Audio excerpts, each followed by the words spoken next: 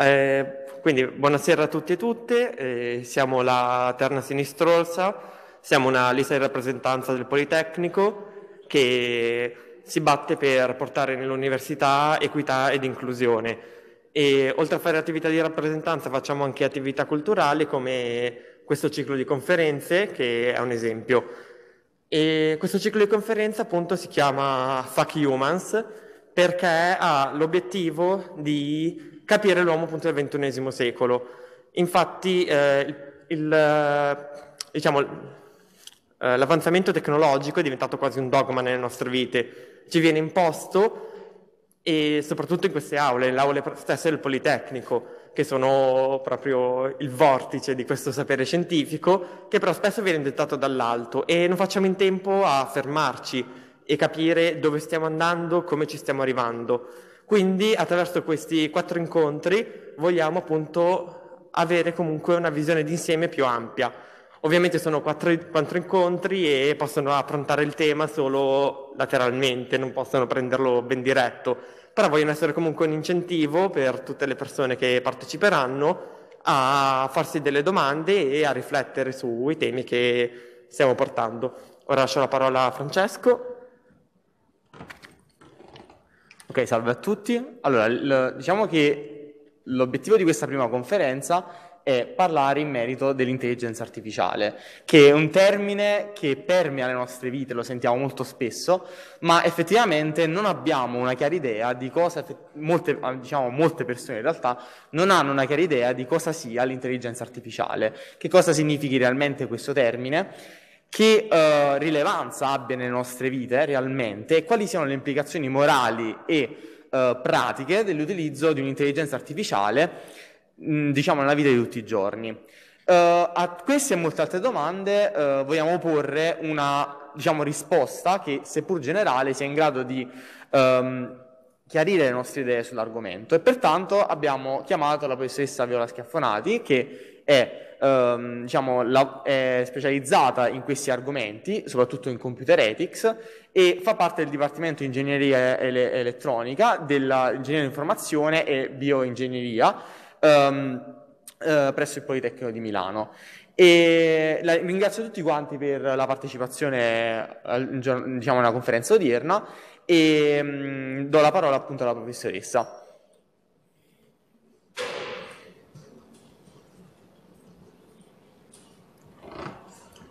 Grazie. Allora,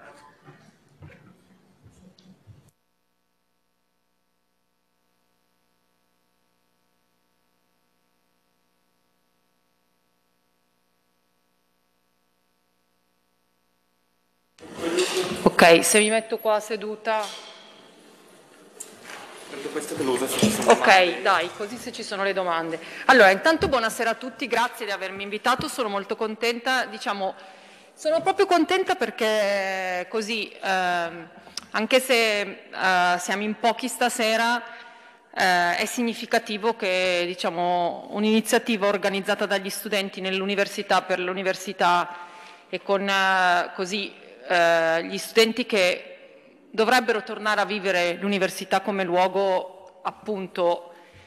di vita più che così di semplice trasmissione del sapere, secondo me è fondamentale, fondamentale di questi tempi.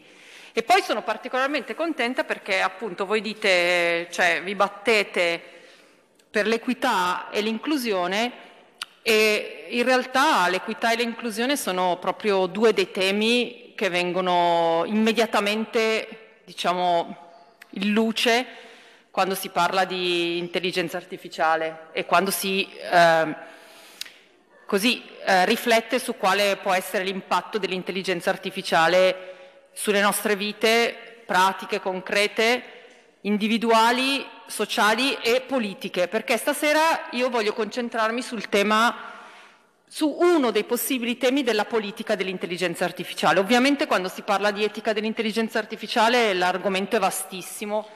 Ci sono, scusate, mi tolgo un po' la mascherina, tanto sono lontana, ci sono mille cose che potremmo dire, adesso non per citare le cose che faccio io, ma insomma ho recentemente scritto un libro con tanti colleghi su appunto l'etica dell'intelligenza artificiale e abbiamo raccolto così eh, contributi che vanno appunto dalle decisioni che hanno impatto sulle nostre vite, che pre- vengono presi da algoritmi di machine learning, al tema della sostenibilità e di quanto veramente oggi, come dire, siamo abituati a immaginare l'intelligenza artificiale come qualcosa di appunto etereo nel cloud che ci fa risparmiare risorse e energie e quanto invece sia come dire un'attività ad altissimo consumo di energie eh, innanzitutto come dire di risorse naturali e poi di risorse sociali. Quindi ci sono tantissime cose se vi va bene la mia proposta è questa, io vorrei parlarvi brevemente di quello che penso sia un tema caldissimo oggi, eh, parlando diciamo sotto l'etichetta etica dell'intelligenza artificiale, ma poi veramente vorrei che fosse una discussione e che quindi così ci fosse anche ehm, così, ehm, un, un, po' di dibattito anche eh, da non esperti, su temi non esperti, su, su questi temi. Allora, la prima cosa che dico è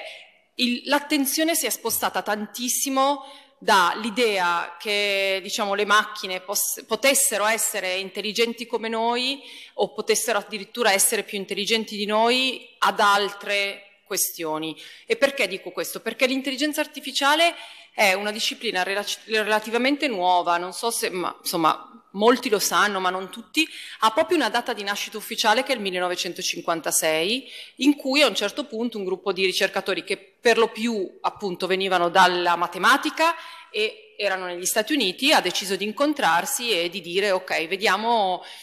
eh, se effettivamente le, le, le attività intellettuali degli esseri umani possono essere descritte in una maniera così precisa, rappresentate in una maniera così precisa da far sì che una macchina le possa compiere. E c'era grandissimo ottimismo, eh, era comunque, come dire, anche la fine della seconda guerra mondiale sul fatto che eh, queste macchine potessero esistere, potessero addirittura, secondo loro, in dieci anni fare più o meno tutto quello che l'intelligenza umana faceva. E non a caso, ad esempio, eh, i primi programmi di intelligenza artificiale sono stati eh, programmi per i giochi, scacchi, da, cioè prima dama e poi scacchi, e programmi per, per dimostrare in automatico i teoremi. Cioè, delle attività che, come dire, eh, sono delle microattività rispetto allo scibile umano, però eh, che rappresentano in qualche modo l'attività intellettuale per eccellenza, la matematica, la dimostrazione di teoremi, il gioco degli scacchi e che si sono rivelate, ovviamente non è stato semplice, ma molto più semplici, se vogliamo, di attività che invece noi diamo per scontate come io mi muovo in questo spazio, evito gli ostacoli, vi guardo,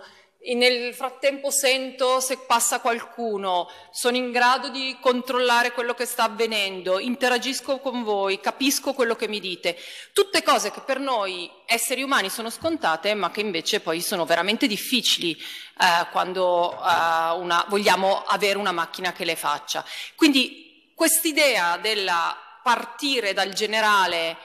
eh, e poi invece man mano concentrarsi sulle cose più specifiche secondo me è stato una, un, un, primo dire, percorso eh, che ha caratterizzato veramente tanto l'intelligenza artificiale, anche oggi, perché oggi quando diciamo ma esiste quella che viene chiamata General Artificial Intelligence, cioè esistono programmi che riescono a risolvere problemi in generale, la risposta è no. Esistono tanti strumenti, tanti programmi che lavorano benissimo su dei problemi specifici, molto meglio degli esseri umani, ma l'idea dell'intelligenza generale non c'è. Però la cosa che volevo dirvi che secondo me è importante è che appunto dobbiamo uscire dall'idea che così da quella mh, rappresentazione un po' old style dell'intelligenza artificiale per cui sì appunto sono cervelli artificiali,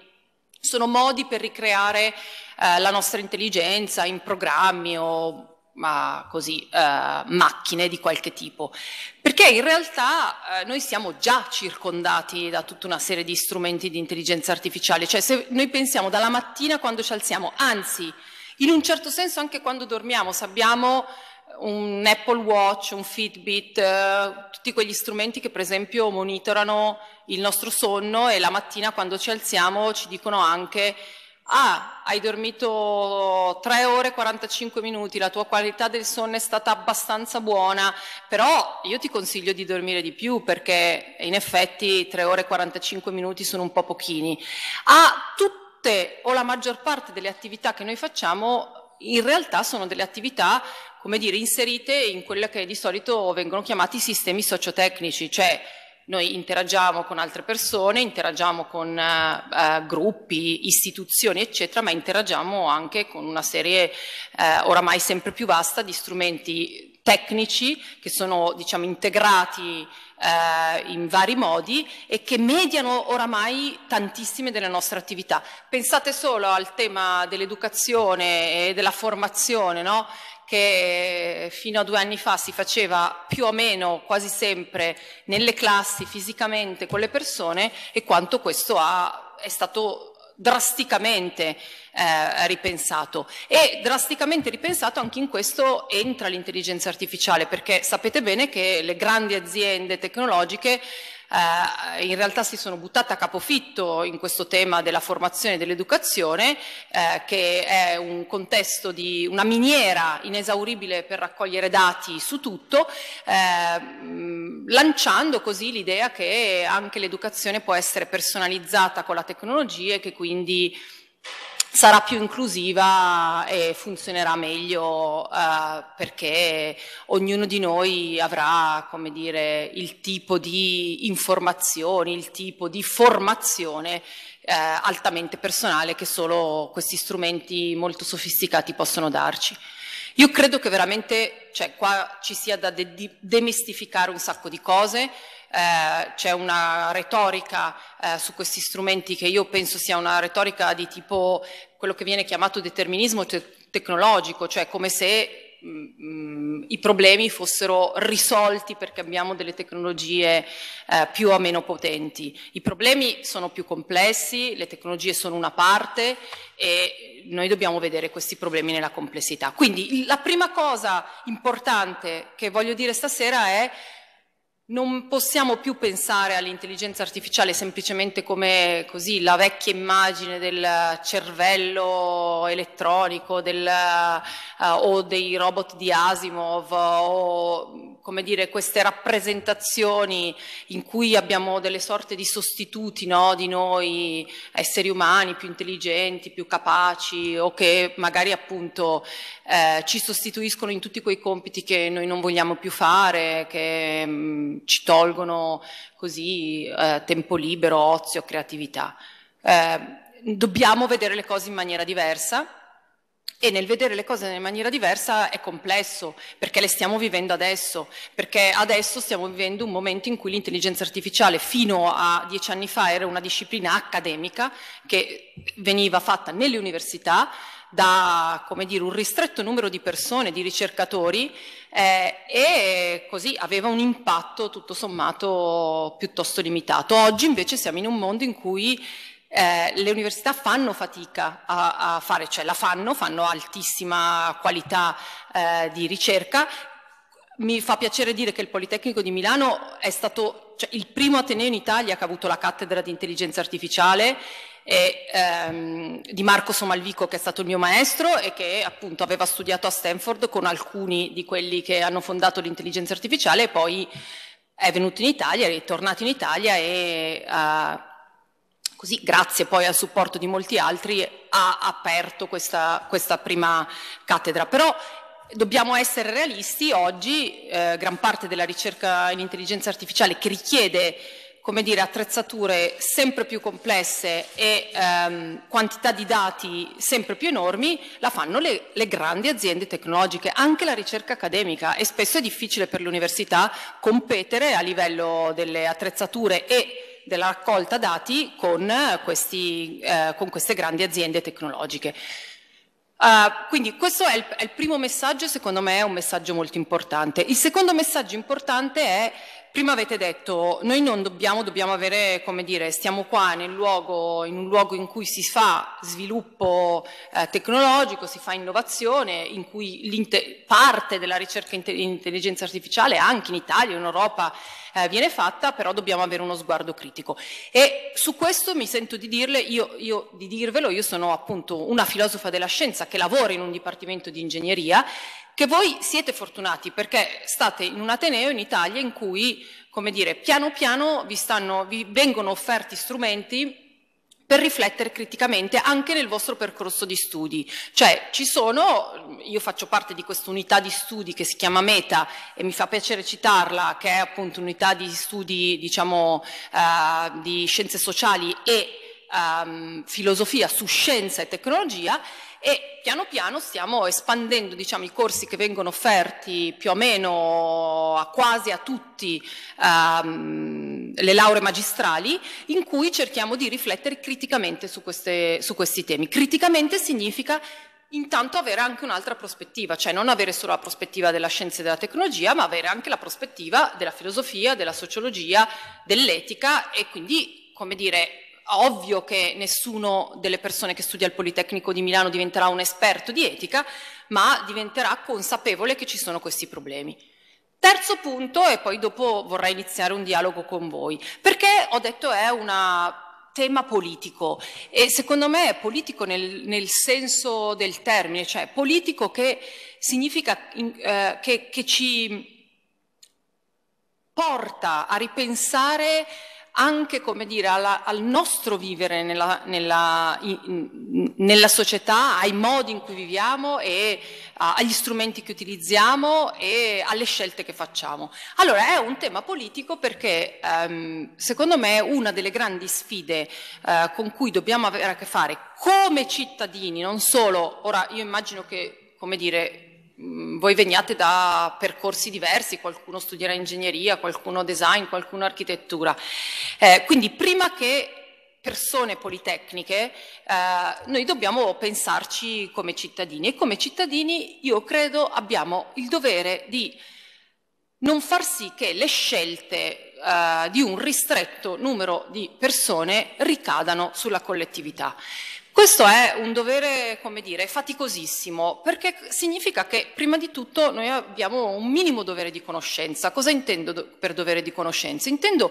che, come dire, cerchiamo di sapere quello che stiamo usando eh, e diciamo, gli strumenti che oramai eh, creano il nostro panorama, creano il contesto in cui viviamo. È ovvio che no, non tutti di noi hanno le competenze tecniche, io per prima, non tutti di noi hanno le competenze tecniche per andare nel dettaglio della conoscenza, eccetera. Però, secondo me, ognuno di noi deve avere veramente, come dire, eh, un'attitudine alla conoscenza, magari minima, magari di base, eh, che consenta di andare un po' al di là di quella che è, diciamo, la, la storia predominante che ci viene ehm, soprattutto nel dibattito pubblico, propinata, uso questo termine, che è una storia in cui le tecnologie risolvono tutti i problemi, estremo 1, oppure le tecnologie sono causa di tutti i problemi, estremo 2, e che secondo me sono veramente, cioè apparentemente molto diverse, ma sono un po' la stessa, ehm, eh, diciamo, le, le facce diverse di una stessa medaglia. Cioè, di nuovo l'idea che le tecnologie determinino in senso forte qualcosa, o nel positivo o nel negativo. Io mh, penso che siamo noi, esseri umani, che determiniamo poi, certamente in un contesto in cui le tecnologie giocano un ruolo sempre più importante. Quindi questa secondo me è la, è la prima cosa e questo è un dovere di cittadinanza attiva, cioè io credo anche per le persone più giovani che studiano a scuola e che fanno educazione civica e in cui in questa educazione civica forse come dire, ci deve essere un po' anche di questa consapevolezza digitale, di questi strumenti, che oramai però sono gli strumenti con cui viviamo la nostra vita politica anche, politica intesa in senso lato, non semplicemente che magari fra un po' voteremo e faremo le votazioni elettroniche anche per le elezioni, ma cittadinanza politica significa, in, in, intesa in senso lato, significa tante delle cose che noi facciamo nel nostro vivere comune.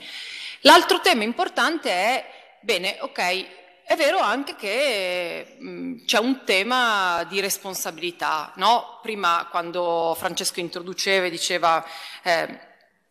gli aspetti morali anche dell'intelligenza artificiale, la questione delle, delle, scelte, la questione di delegare anche delle scelte alle macchine. Allora, in tutto questo è vero, ci sono tante questioni di responsabilità e responsabilità intendo dalla responsabilità legale alla responsabilità morale, tante sfumature. Però c'è anche il tema di cercare così di anticipare un po' questa responsabilità. Cosa intendo per anticipare la responsabilità? Intendo che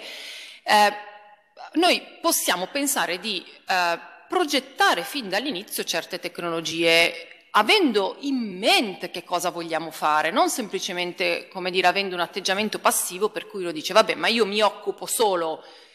della progettazione e poi dopo come sarà usata, beh, dipenderà. Non è così. Questo è, secondo me, un pensiero comune che dobbiamo ribaltare. Non è così perché il modo in cui una tecnologia viene progettata determina poi anche l'uso che ne viene fatta, determina anche l'impatto che ne viene fatta. E quindi non vi sto dicendo che tutti i problemi possano essere risolti progettando bene una tecnologia, però vi sto dicendo che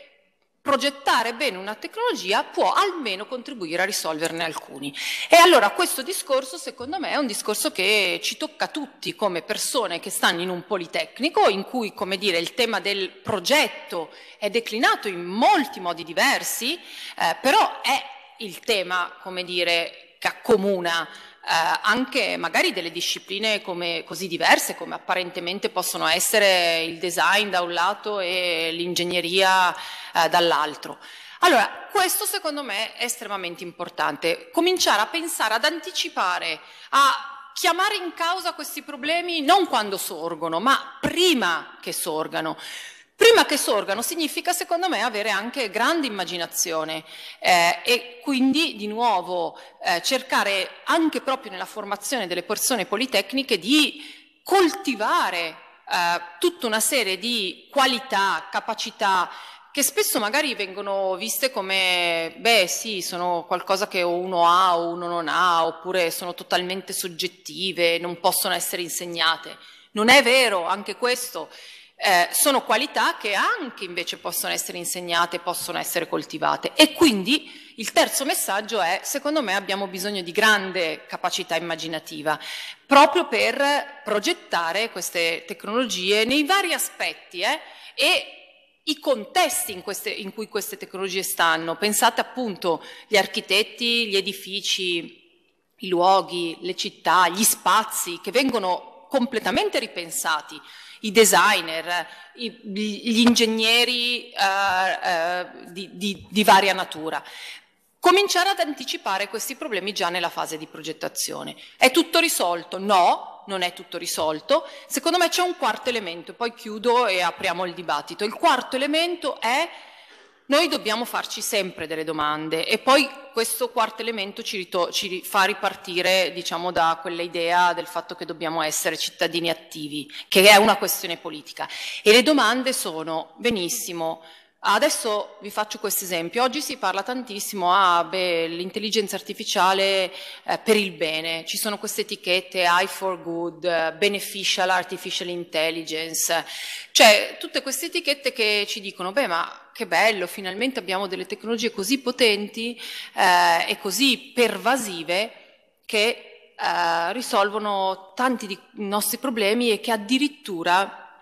eh, riescono finalmente a darci la soluzione eh, a, a, quello che non abbiamo mai risolto. Vi faccio un esempio rispetto per esempio alla formazione delle persone all'educazione. Eh, caspita, nelle scuole c'è un problema grandissimo del fatto che ci sono tanti studenti che sono in difficoltà e perché magari sono in difficoltà perché hanno mh, così dei problemi uh, a livello di apprendimento, sono in difficoltà perché magari non hanno le stesse mh, non hanno avuto le stesse possibilità di altri, sono in difficoltà perché magari invece sono troppo bravi e quindi si annoiano eh, rispetto a quello che viene detto in una classe. E spesso in questo panorama in cui la scuola è in difficoltà, c'è poco da dire, c'è poco da fare, la eh, soluzione che viene proposta è bene, ma perché appunto l'intelligenza artificiale non ci viene in aiuto, in soccorso promuovendo appunto tecnologie per l'apprendimento che siano altamente personalizzabili, quindi quello bravo avrà magari così proposti degli esercizi eh, che lo sfidano maggiormente, quello che è un po' più in difficoltà, la difficoltà verrà eh, rilevata dal programma stesso e quindi eh, i contenuti verranno adattati a questa difficoltà Oppure appunto chi si annoia avrà dei contenuti che magari sono più divertenti e quindi supererà la noia. Sulla carta tutto bellissimo, io penso che questo sia veramente eh, il mondo distopico nel quale non voglio vivere, eh, perché eh, in, in, questo mondo distopico non sono più io l'attore delle mie decisioni e non sto dicendo che va rifiutata in tutto la tecnologia, ma sto dicendo che penso che dobbiamo farci delle domande quando la storia ci viene presentata in questo modo. E le domande sono, ma chi decide che cosa viene fatto, come viene fatto? Eh, chi decide quali sono diciamo, i valori che una tecnologia deve implementare? Chi decide eh, che eh, deve essere inclusiva rispetto a certe categorie e magari mh, non tanto inclusiva rispetto ad altre? Chi decide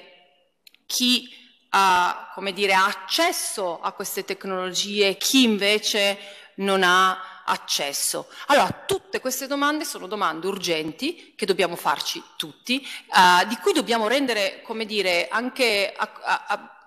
conto uh, così al, alla società in cui viviamo. Sono domande che non possiamo rimandare e quello che vi sto dicendo è non dobbiamo rispondere no o sì in assoluto, dobbiamo vedere, dobbiamo studiare, dobbiamo analizzare, dobbiamo capire. E infatti l'ultimo messaggio che vi do è l'etica è bella, è un, dire, una parte interessante della filosofia, però l'etica è difficile, è un processo piuttosto che un insieme di regole e questo io lo dico sempre ai miei studenti. Eh, può sembrare, questo come dire è spiazzante perché uno dice beh ma quindi allora non c'è un modo per risolvere questo problema, non c'è una regola, non c'è una linea guida, non c'è un libro di istruzioni, no non c'è infatti è un processo e io personalmente penso che sia un processo anche molto contestuale, cioè dipende dallo specifico momento, dallo specifico contesto, però è come dire un processo a cui tutti siamo chiamati e mm, questo è così qualcosa che, a cui diciamo, non, non, dobbiamo e non possiamo rinunciare. E siamo chiamati perché altrimenti viviamo già in un mondo in cui eh, le decisioni, che diventano anche decisioni politiche, sono prese da gruppi sempre più ristretti di persone. Eh, pensate al potere che hanno alcune società tecnologiche nel mondo, che è un potere ovviamente tecnologico, ma pensate quanto potere politico abbiano anche queste società. E forse la sfida a cui dobbiamo rispondere è ma è possibile vivere in un mondo in cui questi processi, almeno in linea di principio, sono frutto di un percorso democratico? Un percorso democratico in cui tutto ciò è oggetto di un dibattito pubblico, tutto ciò è oggetto di domande, tutto ciò è oggetto di scelte, ma scelte, come dire, consapevoli, aperte, scelte su cui si può dissentire, ma che sono delle scelte, delle scelte vere, non qualcosa che è semplicemente calato dall'alto, che in molti casi spesso non viene neanche, mh, mm, mh, mm, come dire, uh, ehm, presentato come una scelta, ma semplicemente come qualcosa di dato. Quindi vorrei adesso veramente, se siete d'accordo, eh, poi non ho, non ho, dato nessuna definizione di intelligenza artificiale, magari poi viene fuori nelle domande, non l'ho data perché è difficile, però dopo magari nelle domande, se volete, posso farvi qualche proposta di definizione. Vorrei veramente che così ci fosse un po' di dibattito su questo, le vostre considerazioni e le vostre domande, altrimenti io posso andare avanti ovviamente per tanto tempo, però davvero non siate timidi allora c'è lui, ma riuscite... la telecamera così... Ok, e poi dopo ce l'avete voi il microfono? Sì, Vado sì, io? È... Ah, ok. Sì, sì, ora arriviamo. Giusto qua così almeno da casa vedono meglio. Solo che lì è scomparso tutto. No, eh. sì, sì, la prendo. Ah, ok.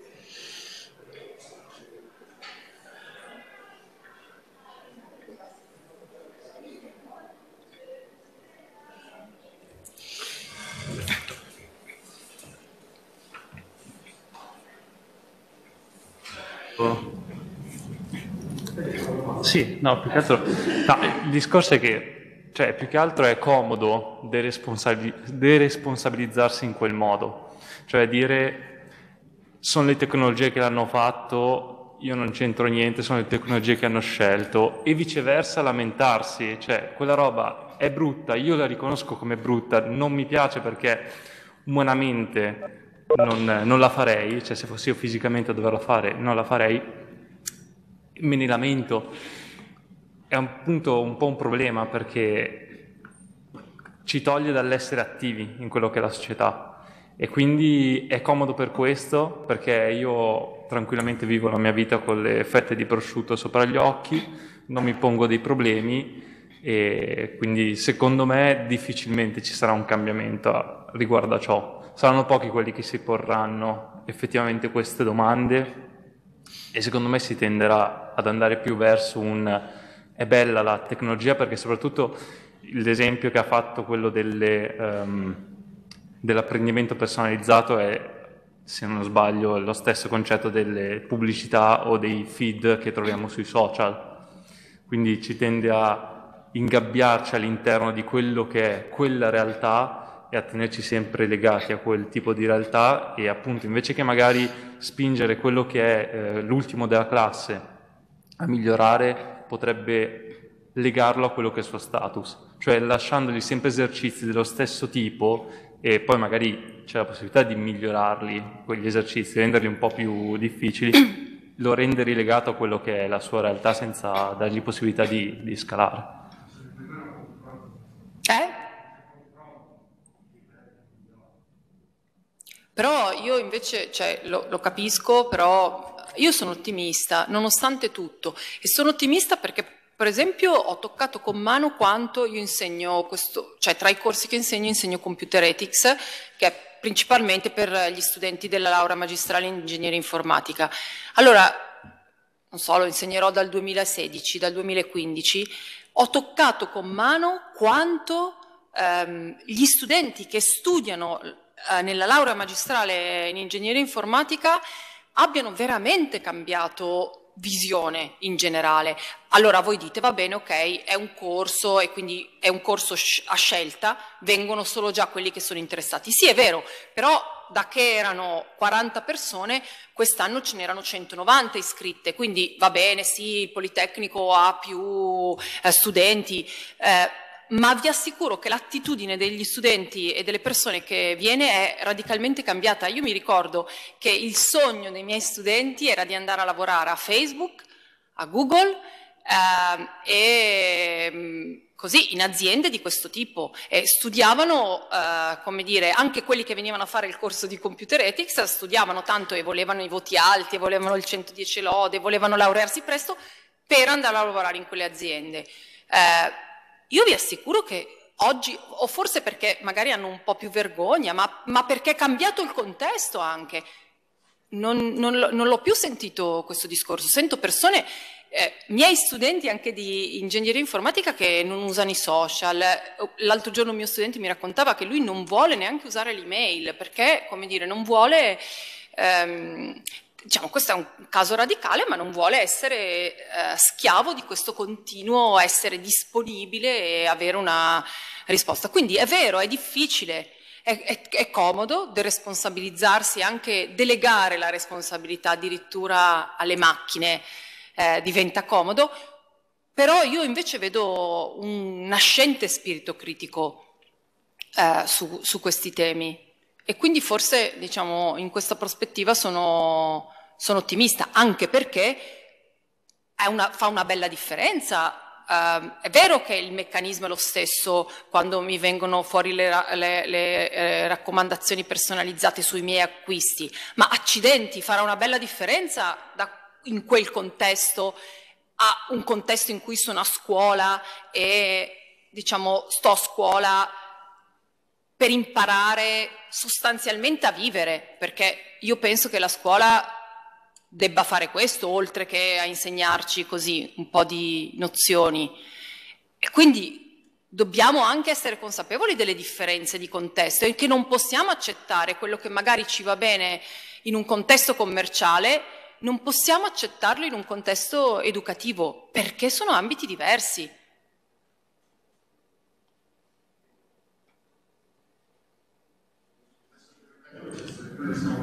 Eh? Allora, sì, lo scambio umano secondo me è fondamentale, ma anche fondamentale, vi faccio un altro esempio che mi piace tantissimo, perché dà la misura delle sfumature che costituiscono e delle, come dire, dettagli che però sono, come dire, le cose anche importanti delle vite umane. C'è un esempio bellissimo che ha fatto una studiosa della London School of Economics che raccontava in una conferenza e diceva vi racconto il caso di questa giovane afroamericana che a un certo punto è andata a fare un colloquio di lavoro e uh, durante il colloquio di lavoro con la persona, no, con il, il um, quel, diciamo, quello che faceva i colloqui di lavoro per un'azienda, parlando um, è venuto fuori e lei ha dichiarato che era stata arrestata e che a un certo punto era stata arrestata, quindi che la sua fedina penale non era pulita ed era stata arrestata in particolare eh, nel contesto delle proteste di Black Lives Matter. Ok, aveva raccontato, aveva discusso in questo contesto eh, di questo. Eh, e anzi, la persona che la intervistava per il lavoro, appunto lo scambio, le relazioni umane, Uh, aveva molto apprezzato, come dire, che si uh, uh, avessero parlato di quello e che, come dire, fosse venuto fuori mh,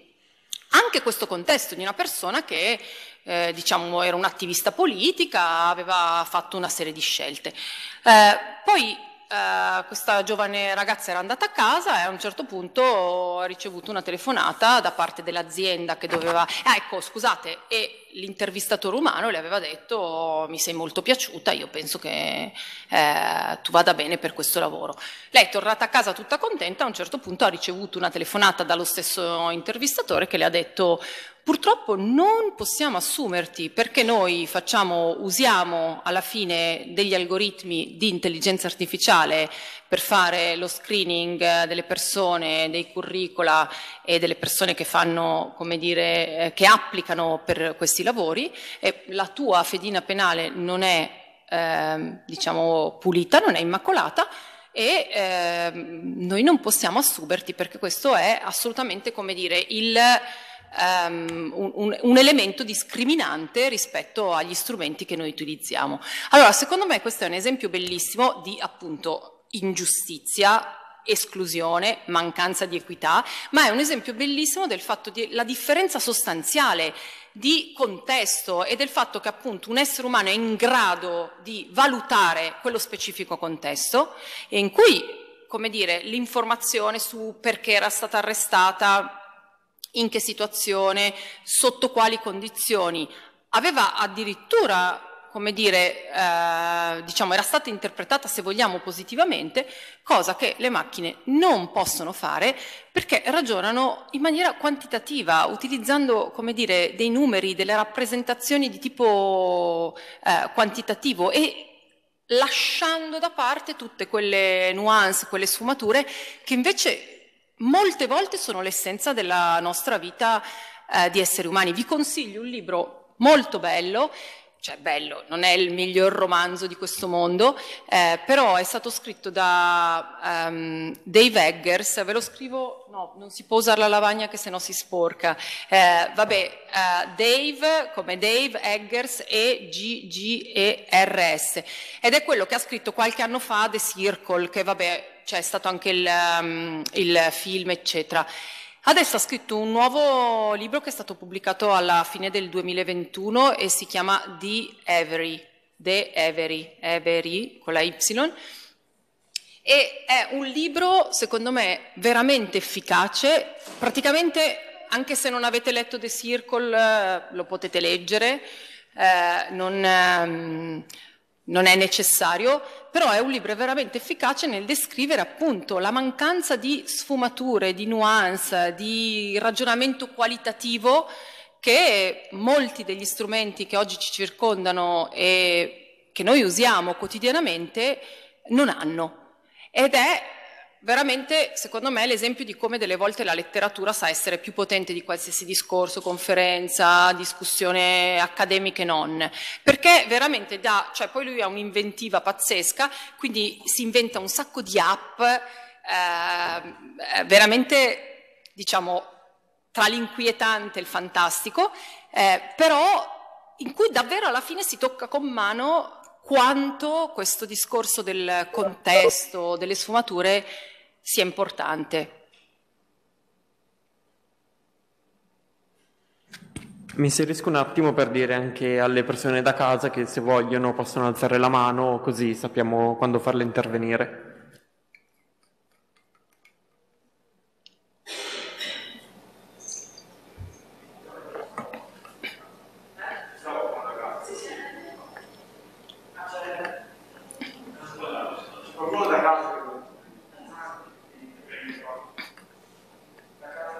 Casa aprite pure il microfono se volete intervenire. Ah, ok, perfetto, grazie.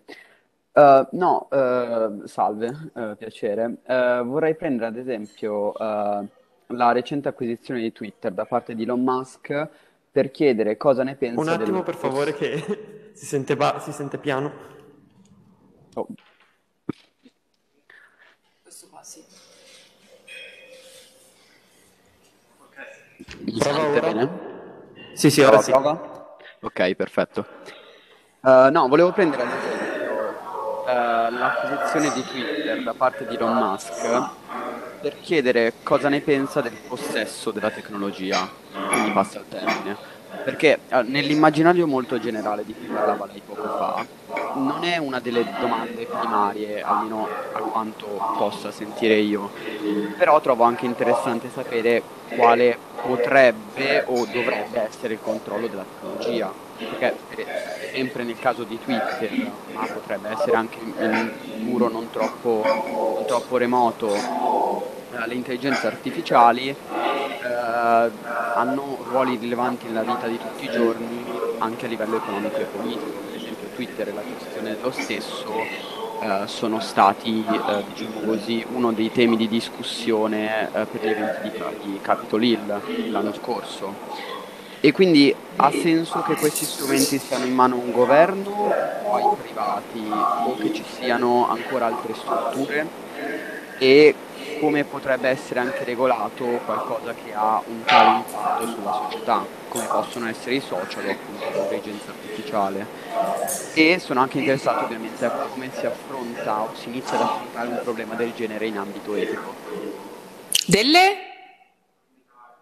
Uh, come si affronta un problema del genere in ambito etico. Ah, ok, ok. okay. Allora, io personalmente penso che debbano essere regolate assolutamente, anzi cioè, sono stupefatta del fatto che non abbiamo regolato a sufficienza eh, fino ad adesso, tant'è vero che in contesti tipo gli Stati Uniti, in cui di solito quando si parla a... Reg- eh? Esatto, ma appunto anche in contesti tipo gli Stati Uniti in cui quando ogni volta che si parla di regolare qualcosa ti dicono beh, beh, perché sei un comunista e quindi eh, vuoi il, il, lo, il, controllo del governo. Io ho sentito veramente tantissimi colleghi adesso statunitensi che dicono ma assolutamente, cioè, anzi beati voi che vivete in Europa e che qualche tentativo di regolare eh, ce, lo, ce, lo, avete perché eh, non, è, non, è, non, non si può andare avanti così. Quindi sì sono per la regolamentazione, ovviamente è estremamente difficile, ehm, e sono un po' disillusa alle volte sul fatto che l'Europa, diciamo, mh, almeno sulla carta ce la stia mettendo tutta. Sapete che addirittura c'è questa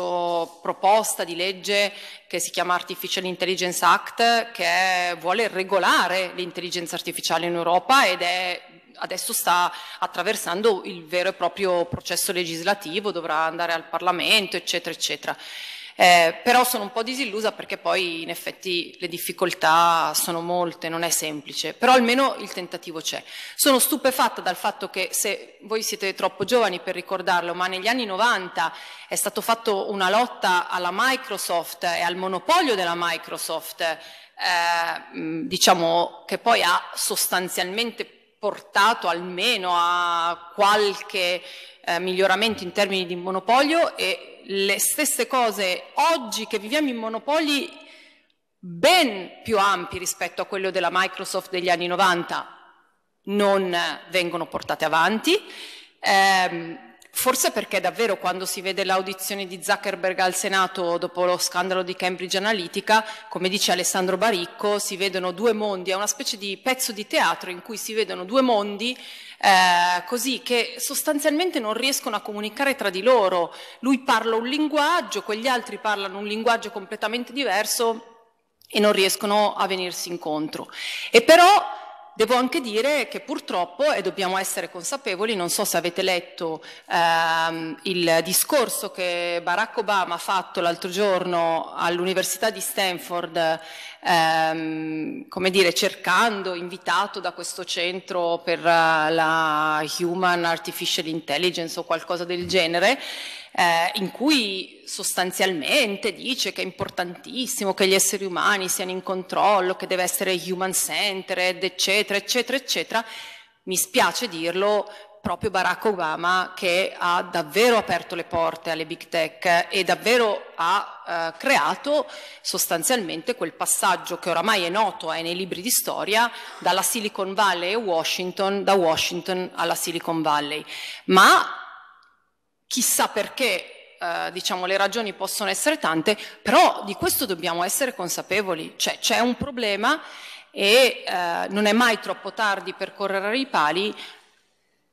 la,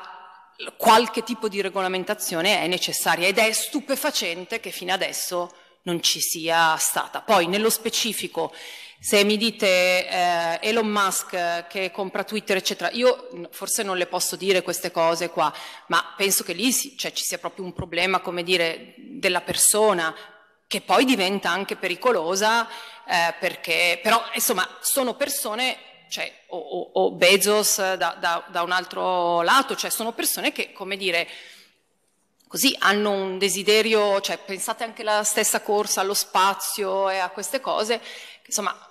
qualche difficoltà la, la, la hanno, no? Anche rispetto, non so, appunto, a Beso, eh, cioè eh, Musk il rapporto col padre, c'erano recentemente degli articoli sul fatto che il padre gli ha sempre dato del fallito, eccetera. Insomma, dopo che poi questi arrivino, compre, comprino e facciano, insomma, un pochino forse anche su questo dobbiamo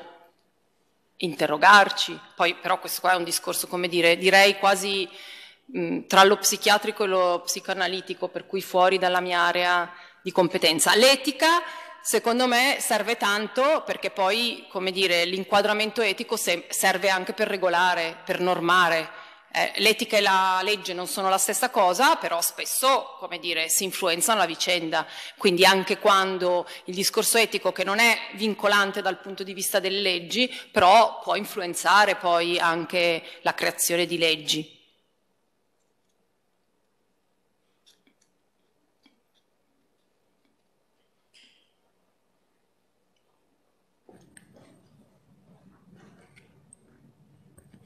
Eh, la ringrazio. Eh, prima lei parlava sia di monopoli che di scambi tra eh, Silicon Valley e Washington e mi è venuto in mente il capitalismo della sorveglianza di Shoshana Zuboff, quindi lei in un primo momento descrive benissimo in maniera super approfondita quanto grandi siano questi monopoli e poi anche un inquietante scambio tra i quadri della CIA e i quadri di Google, per citarne uno, quindi dei più grandi eh, monopoli e colossi eh, tecnologici. E anche durante tutto questo libro ehm, la Zuboff descrive molto bene la capacità elusiva di queste grandi corporation e quindi di non farsi vedere mai nei veri intenti. Quindi se è vero che poi la legge in un certo senso arriva sempre dopo che c'è stato un fenomeno che, che deve essere regolato, qua abbiamo già tanto come dire ritardo perché già all'altezza degli anni 2000 con la guerra al terrore ehm, c'era la consapevolezza del potenziale e non si è riusciti minimamente potenziale di estrarre dati eh, e informazioni eh, a regolarlo. E quindi volevo chiedere, ehm, poi scusa, eh, c'è un altro problema, cioè il fatto che tutti noi sappiamo che Google ci spia, ma non facciamo quasi niente, cioè lo diamo per assodato e va bene così,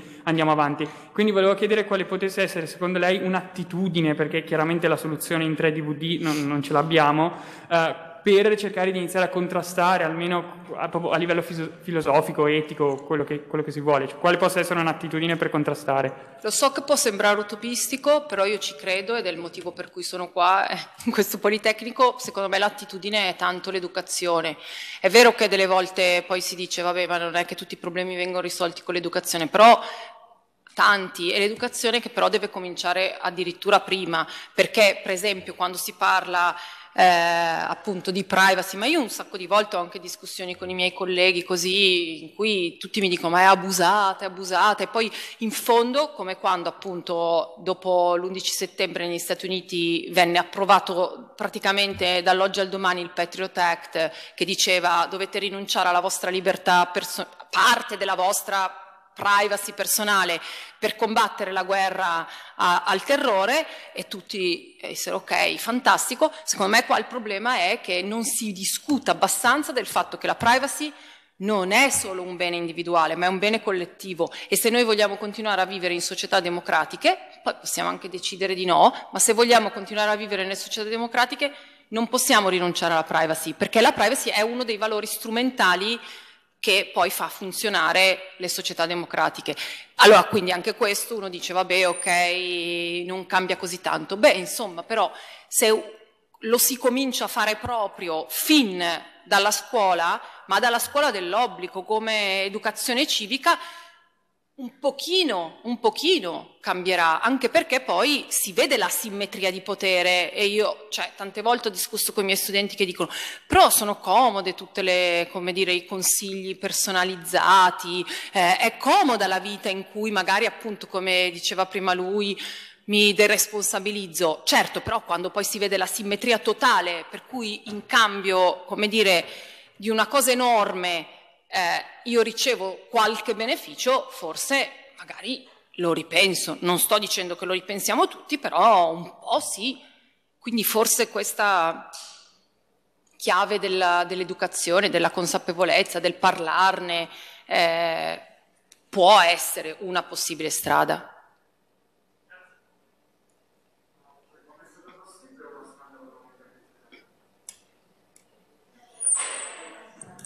Faccio ripetere il microfono perché è una cosa Adesso rispondo da filosofa, non lo so. cioè, non lo so, è veramente... ma diciamo, eh, sono tanti elementi, eh, sicuramente, come dire, la fiducia in una sorta di entusiasmo tecnologico per cui appunto eh, la tecnologia risolve i problemi, la, anzi, in più messi insieme anche nella, come dire, nella fantastica mh, autopresentazione no, di questi personaggi che ci credono veramente che la tecnologia risolve i problemi e che quindi presentano dicendo, cioè se Zuckerberg quando appunto in quell'audizione al Senato dice ma io ho creato Facebook perché veramente penso che le persone così possano stare più vicine, che possano interagire, che possano, le, le famiglie lontane possano, io l'ho creato per migliorare il mondo. E, quindi diciamo oggi forse siamo un po' più consapevoli, qualche anno fa un po' meno, ma questo entusiasmo tecnologico continua così a mietere delle vittime.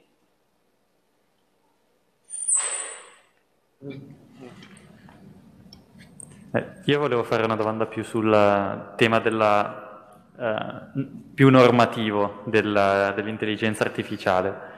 E ogni tanto a me viene da chiedere, mi chiedo se sia giusto e soprattutto sicuro lasciare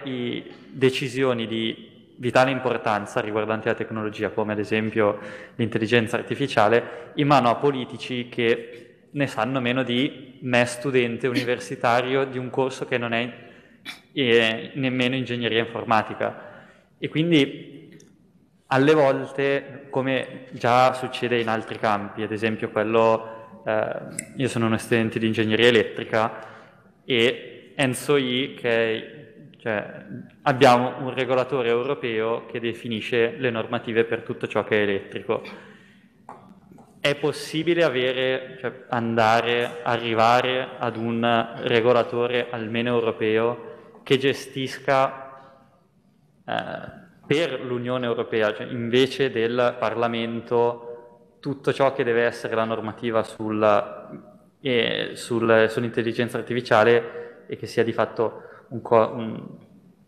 un ente formato sì anche da persone politiche, ma soprattutto da esperti del settore che sanno effettivamente quali sono i rischi che può comportare l'intelligenza artificiale? Allora, in teoria sì, e funziona così. Per esempio in Europa il meccanismo con cui funziona questo è attraverso i gruppi di esperti. Io prima avevo fatto tanti esempi sull'intelligenza artificiale nell'educazione, perché per esempio faccio parte di questo gruppo di esperti della Commissione europea attuale, che dovrebbe stilare delle linee guida su come l'intelligenza artificiale deve essere usata ehm, ehm, da, nei contesti diciamo, dell'educazione. E in teoria è veramente bello. Io diciamo, mh, penso, cioè, sono entusiasta in parte di questo lavoro perché gli esperti siamo da tanti campi diversi, quindi cerchiamo, siamo 25, cerchiamo di mettere insieme tante cose, eh, riferiamo direttamente al commissario che si occupa di questa cosa e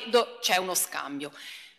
Quindi in teoria è così, cioè gli esperti servono per, come dire, um, informare in maniera esperta eh, tutto poi il, proce il, processo. Per adesso sono delle linee guida, quindi non sono vincolanti dal punto di vista normativo, ma l'idea è che poi in parte alcune cose vadano anche questo Artificial Intelligence Act. Poi, se devo essere sincera, nella pratica questa è la mia prima esperienza, come dire, cioè di solito vivo nell'università in un mondo protetto, questa è un po' un'esperienza diversa, eh, devo dire che non è del tutto positiva. Perché non è del tutto positiva? Perché ti senti alle volte un po' come esperto leggermente usato rispetto a degli scopi che, come dire, vengono decisi ad alto livello politico e lo scopo in questo caso è che cioè, l'Europa è molto attenta molto più degli Stati Uniti e molto più della Cina, se vogliamo, come è molto attenta e la, la Commissione attuale ha fatto proprio tutto un discorso, come dire, politico su come la via europea, l'intelligenza artificiale, eccetera, eccetera. Però poi l'Europa ha anche tanto paura che le aziende, mh, come dire, non siano più qui eh, e che anche quelle europee, che magari sono aziende più piccole così, però non possono essere competitive, quindi è veramente una questione di equilibri sottili, difficili, però almeno dobbiamo riconoscere che c'è il tentativo, c'è la volontà e c'è la volontà, come dire, di coinvolgere esperti. Poi dei miei colleghi, per esempio, ma è uscito anche un articolo su un giornale tedesco, su un quotidiano tedesco, che sono stati coinvolti qualche anno fa in un altro gruppo di esperti che doveva fare queste linee guida sulla trustworthy AI, quindi ancora più ad alto livello, eh, loro si lamentavano e è uscito questo articolo di questo filosofo che diceva ma com'è possibile che dobbiamo fare le linee guida sull'etica dell'intelligenza artificiale? Siamo 52 persone di cui 30 persone vengono dalle aziende, ma vi sembra possibile che questo gruppo di esperti, certamente ci saranno anche le aziende eccetera, ma vi sembra possibile che un numero così grande di esperti e lì è vero, cioè, sicuramente ci sono così equilibri, però almeno in linea di principio gli esperti vengono, cioè, mh, mm, come dire, c'è, c'è, proprio l'idea che i gruppi di esperti mh, mm, debbano contribuire in maniera fattiva poi a la preparazione anche del processo legislativo.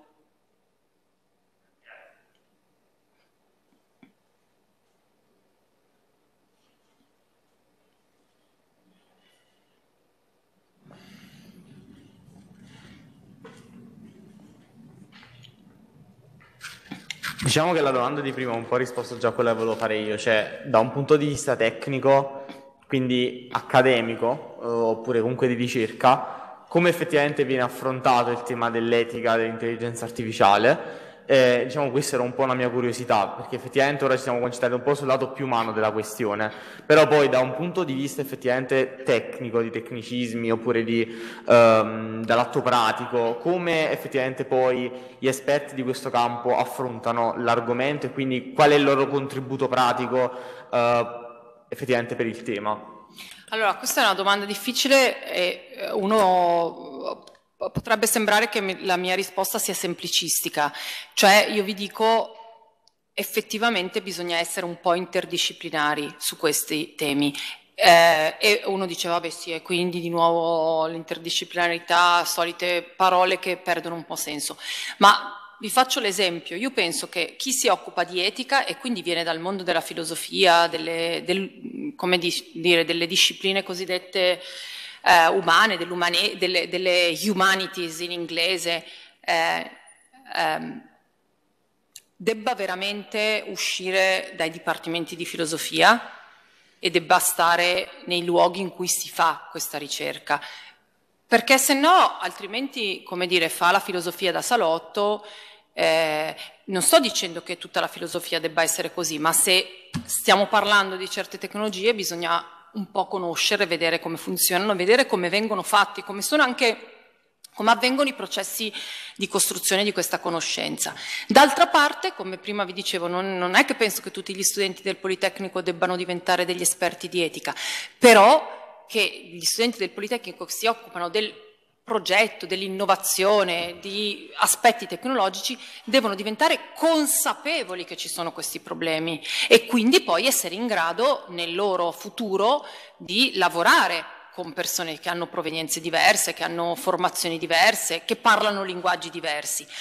Poi rimango convinta che ognuno debba fare il suo, cioè ovviamente, eh, come dire, ognuno deve fare il suo e lo deve fare molto bene, con grande dettaglio, con grande attenzione anche alle questioni tecniche. Quando dico questioni tecniche, anche quelle della filosofia, per esempio, sono delle questioni tecniche. Però è un, è un, po' necessario che oltre a questo, come dire, affondo ci sia anche poi un po' un orizzonte in cui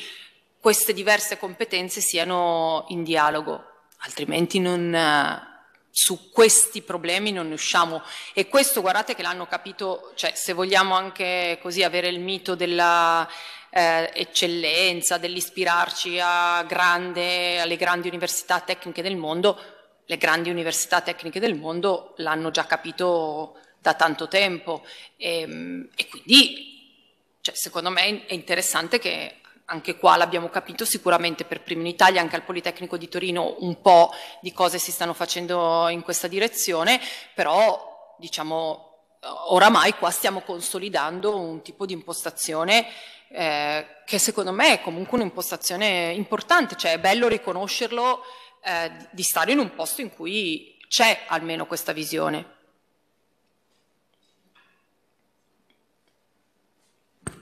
Grazie. E, allora, io avrei due domande. Diciamo che appunto la prima è proprio da un punto di vista pratico, come si fa a creare questa consapevolezza in persone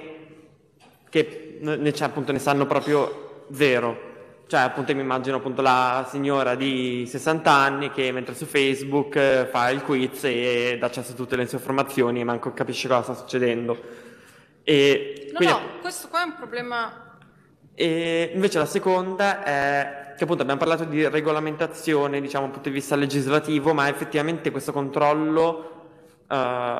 come può essere effettuato? Cioè io da persona ignorante non ho idea di quanto, cioè proprio materiale fisico, computer, memoria, eh, potenza serva per generare un'intelligenza artificiale potenzialmente anche dannosa, tra virgolette, se l'ideatore... Eh, quindi appunto capire come si possono conciliare le leggi, però poi effettivamente con un controllo magari su una persona che ha una stanzetta e non ci arriveranno mai a controllarlo, non so. Beh, però diciamo, parto da quest'ultima, è vero, come dire, possiamo fare tutti del male anche con pochi strumenti, però perlomeno diciamo, il fatto che esistano dei perimetri e che sappiamo che esistono dei perimetri, cioè ciò non impedisce di compiere dei crimini, no? Se vogliamo, però eh, quindi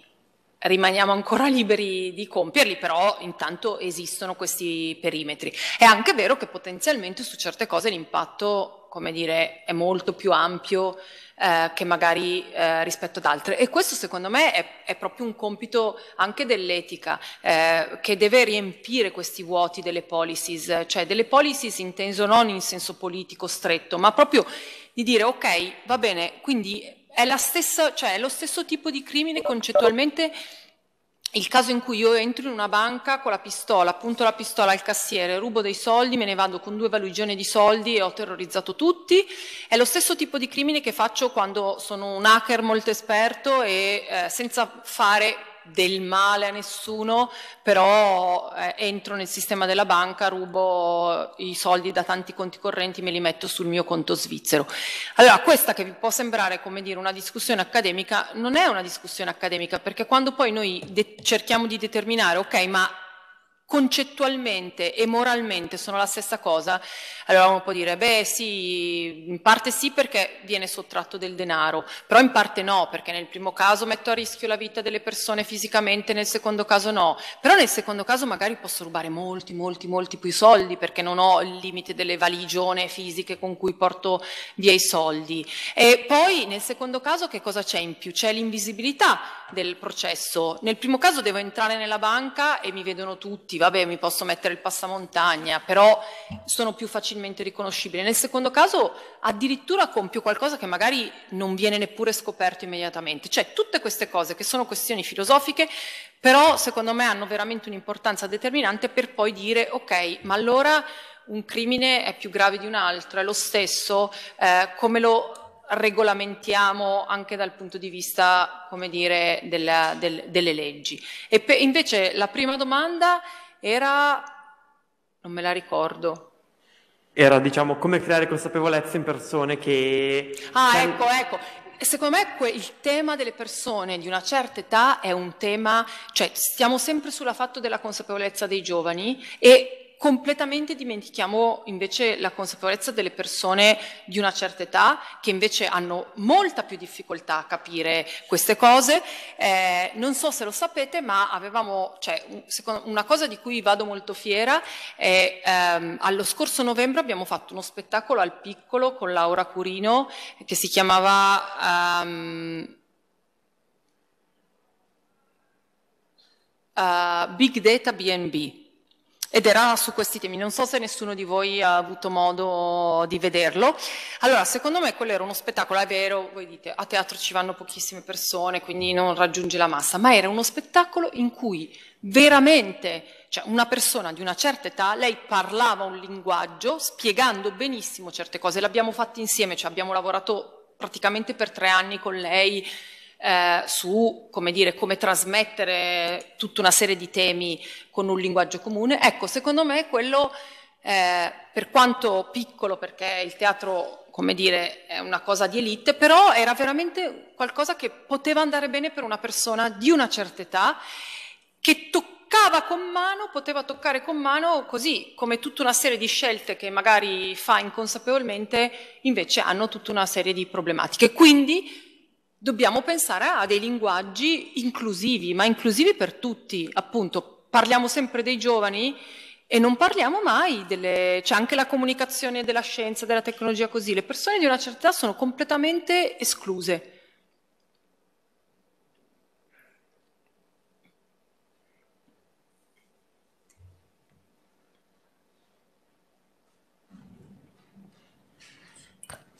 Eh, mi chiedevo eh, quanto invece si parlino i mondi del, del marketing online, della, delle scienze della comunicazione, che ormai riempiono le sale universitarie e invece il mondo dell'etica tecnologica. Cioè il rapporto che io ho una sorella che studia comunicazione. Una sorella che? che studia comunicazione e pubblicità e notavo, cioè nel corso, nel corso dei mesi che abbiamo passato in lockdown, notavo quanto loro hanno dei corsi molto diversi tra di loro e spessissimamente contraddittori continuamente contraddittori, per cui hanno dei corsi in cui si cerca di sensibilizzare alla responsabilità e ad un minimo di consapevolezza nell'utilizzo degli strumenti e il corso di marketing digitale in cui invece gli piombano addosso i casi di Facebook, di Google, di Amazon come se fossero i casi limite delle possibilità umane. E quindi mi chiedevo poi chi queste cose le studia, quanto ne esce inconsapevolmente confuso e se questi due mondi effettivamente ad un certo punto trovano un punto in cui devono parlarsi, perché mi sembra molto spesso di no. Cioè che restino delle isolotte abbastanza a parte con quest'etica del profitto assolutamente smisurata che hanno la possibilità di dimenticarsi dell'etica. E, e poi volevo chiedere se i eh, limiti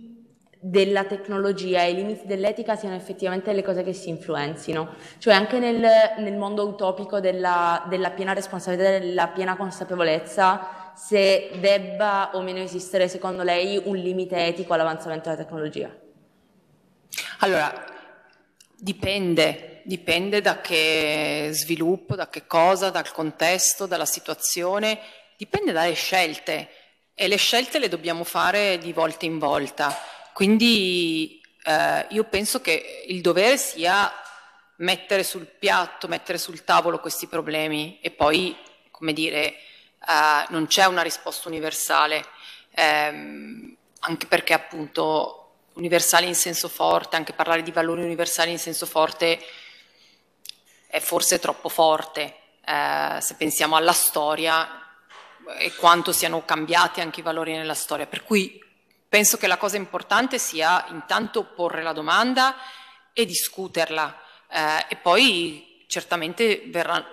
delle, cioè si fanno delle scelte di caso in caso, in situazione in situazione e, e, e, e si considerano dire, i problemi specifici. Quindi a questa domanda risponderei così. Sulla prima domanda non so veramente perché appunto è un mondo che non conosco e, e quindi mm, mi rendo conto che poi ehm, così è, è, è difficile ehm, anche trovare una, una conciliazione. Oggi ero a un seminario di una mia collega che è venuta qua al Politecnico di Milano con una borsa Marie Curie. Le Marie Curie sono queste borse che diciamo, vengono date a livello europeo ai ricercatori più giovani, più bravi appunto eh, in Europa che affrontano dei temi di frontiera. Lei è venuta al Politecnico di Milano, lei è una persona che ha un dottorato in letteratura contemporanea ed è venuta al Politecnico di Milano al Dipartimento di Architettura e Studi Urbani a studiare come per esempio viene mh, diciamo, rappresentata nella letteratura eh, di fiction la crisi, la cosiddetta crisi del sonno e la cosiddetta crisi del sonno attraverso appunto per esempio le app ehm, di tracciamento del sonno, i wearables che vengono utilizzati per il tracciamento del sonno. E secondo me eh, eh questa è proprio quella che intendo come prospettiva diversa per guardare un problema in maniera molto molto lontana da quello che di solito si discute qua al Politecnico. E però la cosa interessantissima di questo seminario, a parte farci vedere così come viene narrata questa crisi o supposta crisi del sonno, non dormiamo abbastanza e poi quindi non dormiamo abbastanza e quindi non siamo abbastanza efficienti, dormire è importante perché ci rende più efficienti e poi lei ha detto una cosa eh, e possiamo essere d'accordo o non d'accordo e lei ha detto però tutti questi problemi appunto non sono problemi della tecnologia, non sono problemi di come viene narrato, sono problemi del capitalismo. E io sono anticapitalista e quindi penso che sia importante, come dire, riconoscere, allora al di là della posizione, ehm, però eh, questo secondo me di nuovo è un bel esempio di come il problema sia politico, quindi se nel marketing eh, e poi sapete bene non solo il digital marketing, oggi si parla addirittura di neuromarketing, no? Se, cioè, se il problema non è del marketing in sé, degli strumenti del marketing, il problema è del marketing nel contesto, nel mondo in cui viviamo, quindi è vero che adesso non voglio fare discorsi, prima lui citava Shoshana Zuboff che è stata definita eh, questo libro Il capitalismo della sorveglianza, che è un librone, eh, è stata definita il Karl Marx del XXI secolo, cioè il capitale del XXI eh, secolo obiettivamente è un po' lontano dal capitale di Marx, nel senso che poi il capitale di Marx cioè, è un libro estremamente filosofico. Il capitalismo della sorveglianza di Shoshana Zuboff è leggermente filosofico in alcune parti, però, però insomma è interessante secondo me di nuovo per quello che vi dicevo all'inizio è una questione anche principalmente politica perché ci porta a anche così interrogarci sulle strutture politiche eh, entro le quali viviamo, anche prima parlavo del concetto stesso di democrazia legato alla privacy e quindi non è solo un problema in sé della tecnologia o dello specifico contesto, è veramente un problema più ampio, il che rende tutto più interessante e più difficile. E ci sono altre... C'è una domanda qua. Ok. Vado... Cioè, prima... poi farei le ultime due e poi concluderei che dobbiamo abbandonare l'aula. Eh, io volevo uscire dalla, dall'aspetto etico e fare una domanda più tecnica. Eh, lei ha detto che cioè, in questo momento l'intelligenza artificiale è ristretta a piccoli problemi specifici, algoritmi ma in un futuro cioè, l'intelligenza artificiale potrebbe emulare la mente umana acquisendo quella flessibilità ed elasticità tipica cioè, dell'uomo? Oppure è solo fantascienza?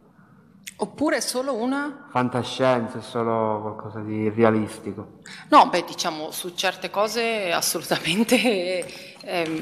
è molto meglio di noi e, e fa, come dire, ehm, ma non solo in termini di potenza di calcolo, eh tante cose,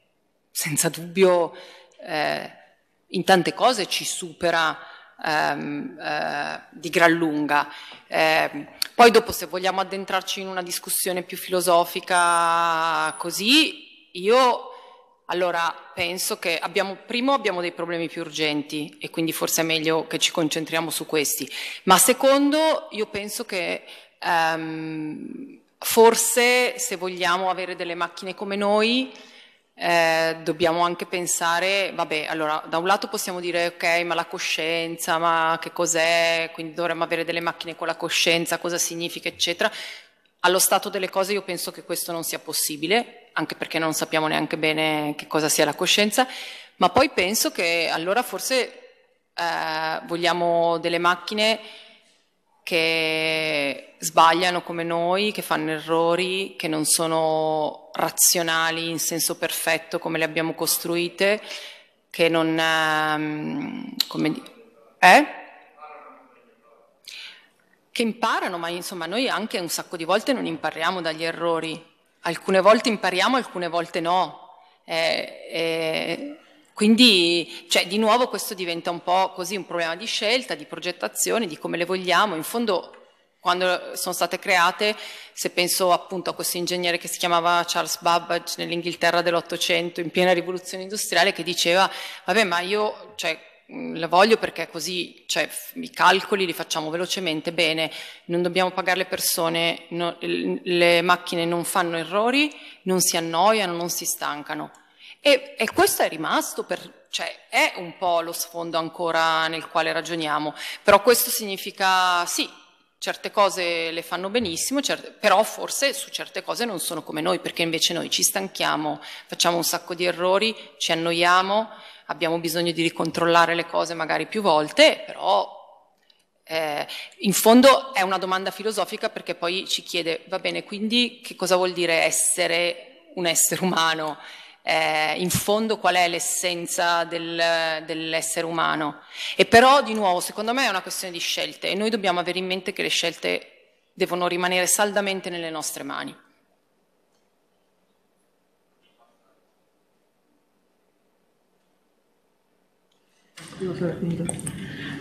Eh, io mi ricollego al pensare alla fantascienza in questo senso, magari è una domanda un po' scenica, però siamo abituati a vedere appunto una convivenza tra robot, droidi vari e eh, uno scenario ricorrente è il fatto che magari possano scoperchiare la società in quanto magari più potenti di noi o vedi ok le macchine che conquistano il mondo. Chiaro che non mi aspetto che da un giorno all'altro il mio microonde mi venga a ammazzare durante la notte però quant'è una cosa che effettivamente dobbiamo cioè quant- quali sono i veri pericoli di esagerare in un senso concreto, nel senso mi vengono in mente il fatto che le intelligenze artificiali possano disabituarci a fare determinate cose da soli, penso magari quando sono down i server di Instagram io improvvisamente non posso sentire più i miei amici o il fatto che non so fare 2 più 2 senza una calcolatrice nel 2022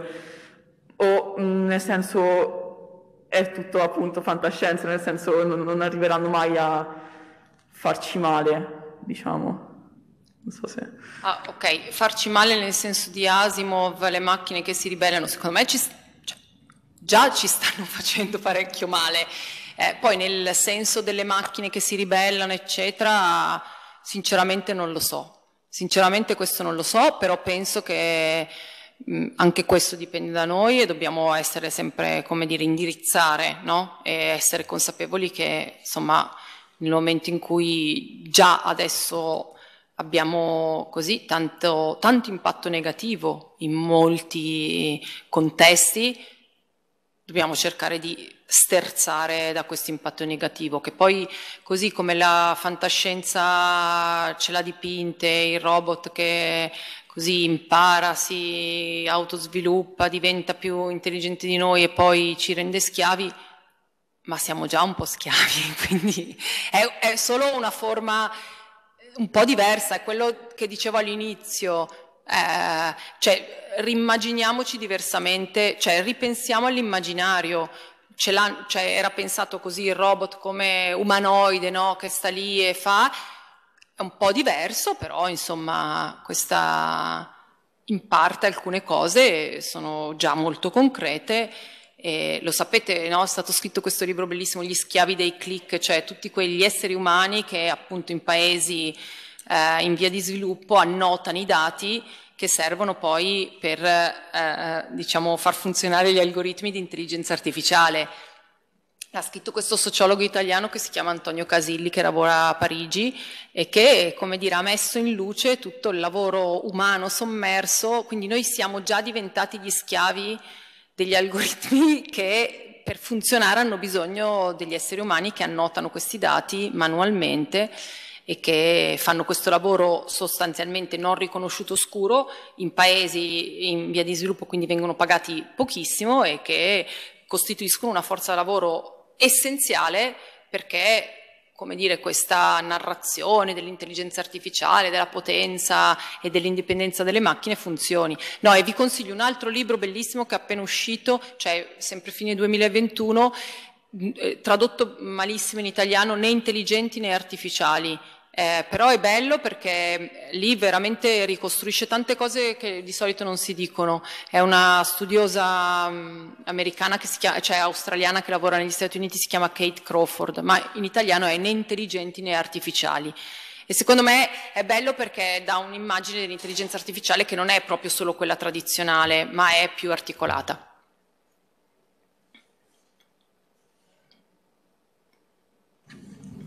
E io volevo fare una domanda riguardo sempre questi argomenti e voglio prendere un punto di riferimento un film che si chiama Her, lei, esatto, in cui c'è questa Alexa 2.0 praticamente che impara da quest'uomo tanto che for- vanno a crearsi delle discussioni e tutto e lui si innamora di lei. Io mi chiedo, comunque questa personalmente non credo sia troppo assurda, alla fine potrebbe anche capitare in un momento, cioè in un futuro vicino, e io ora le voglio chiedere a lei, lei cosa ne pensa dell'amore tra uomo e intelligenza artificiale? Potrebbe essere una cosa fattibile o, cioè, non lo so, una sua considerazione che ne sa molto più di me su questo argomento. No, sinceramente non lo so, a parte che dovremmo dire, ma appunto che cos'è amore? C'è, c'è, c'è tanta letteratura anche, eh, per esempio, su per esempio l'amicizia, il concetto di amicizia, quanto è per esempio l'amicizia su Facebook, a, a, a letteratura accademica sull'amicizia su Facebook eh, può essere, cioè è un tipo diverso di amicizia rispetto al concetto tradizionale dell'amicizia, eccetera, perché i grandi filosofi hanno anche parlato dell'amicizia. E suppongo che ci sia anche, come dire, nel caso dell'amore, però personalmente, insomma, almeno che come dire, ci siano delle entità dotate di ehm, libero arbitrio, se pensiamo che esista, quindi di essere liberi, di avere un qualche grado di autonomia, di avere, come dire, capacità di decisione morale, secondo me sì, cioè questo è un po' il presupposto perché, secondo me, le amicizie, l'amore, anche delle relazioni di tipo umano. Poi possiamo, come dire, rivedere tutto, non, sono, non, non voglio dire che dobbiamo rimanere sempre alle stesse idee, però dobbiamo rivederle con consapevolezza, di dire ok, siamo in un momento in cui questo ci porta a ripensare le nostre idee, le ripensiamo completamente, le ripensiamo in parte, non le ripensiamo.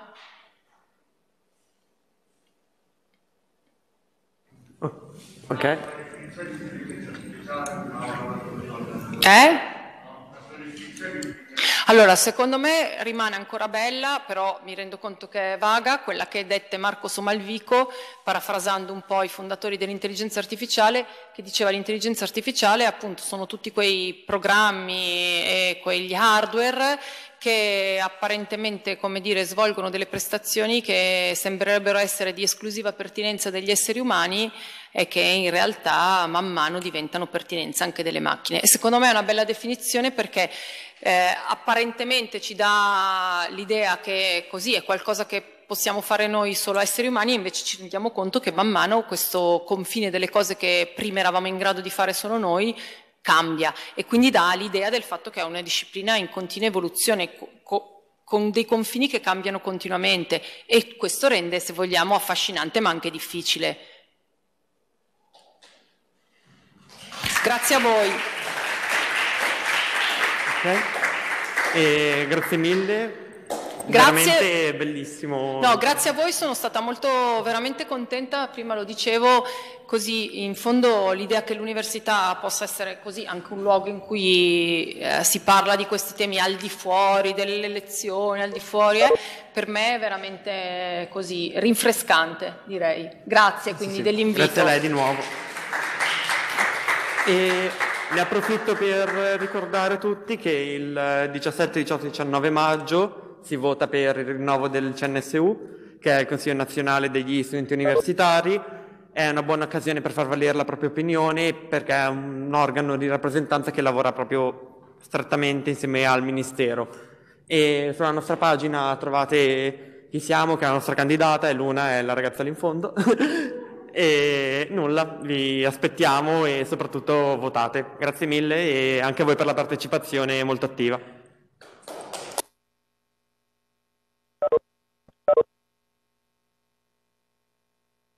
Ricordo che a un ciclo di conferenze ci sono altri tre appuntamenti. Il prossimo è il 3 maggio e ha il titolo Dalla scienza moderna alla tecnoscienza contemporanea e sarà ospite con noi Fabio Grigenti.